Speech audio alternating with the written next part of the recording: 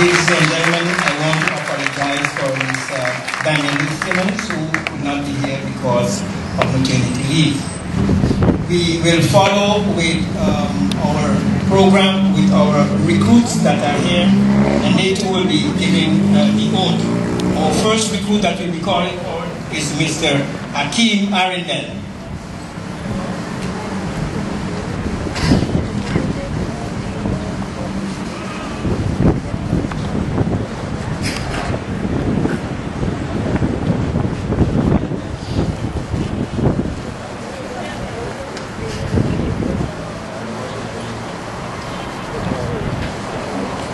Arizona, that is why we went back to work and we have to give us back.